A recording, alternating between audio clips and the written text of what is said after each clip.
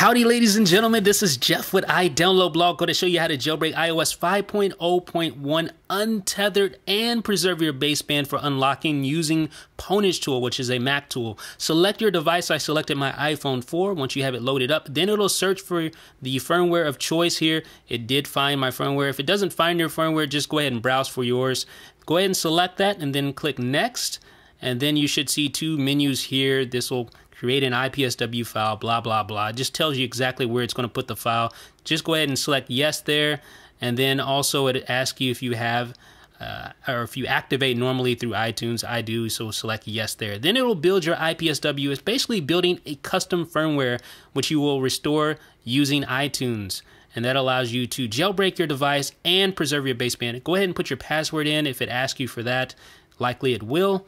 That allows it to save it to your desktop. It'll continue building your IPSW. This does take some time. I've obviously sped it up a bit just for time purposes, but yours will take a while as it builds your IPSW. So we're almost through here. Now it's going to ask you to connect your device to USB. Go ahead and hook up your device and you want to go ahead and place it into DFU mode. I'm going to show you how to do that right here. You guys know how to do this by now. Just hold home and power for 10 seconds. Release the power, continue holding home, and then voila, your device will be in DFU mode.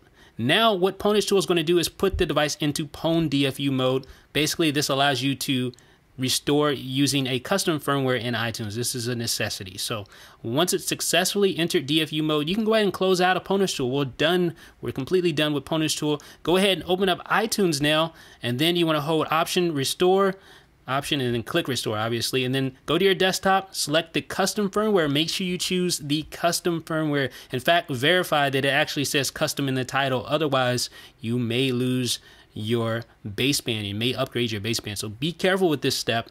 Go ahead and click next and go ahead and restore.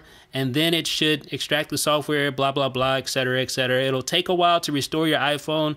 I'm going to go ahead and show you the iphone here and it's going to take a while obviously Okay, so just continue to bear with us here as it restores. I'm going to go ahead and just skip ahead. I'm going to cheat a little bit, skip ahead so we can get on with the show. I'm going to show you the iPhone screen here. It should load up the iPhone screen where you can actually set up your device, etc., etc. You can set up iCloud, all that jazz. But really, our main concern is just to make sure that the device is jailbroken and that you have preserved modem firmware, which will allow you to, once you load up UltraSnow via Cydia will allow you to unlock your device using a software unlock, which is really cool. And folks, that is how you perform an untethered jailbreak for iOS 5.0.1 and preserve your baseband for unlocking. Now, you'll need to go to Cydia, download UltraSnow, etc. Make sure you have, obviously, you meet the requirements for unlocking. If you need more information, check the description and let me know what you think in the comments section. This is Jeff with iDownload Blog.